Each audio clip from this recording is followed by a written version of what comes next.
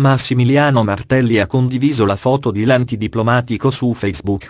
25 settembre 2016 L'antidiplomatico 24 settembre 2016 Arsenale K. Renzi, con il proporzionale si tornerebbe agli inciuci della Prima Repubblica.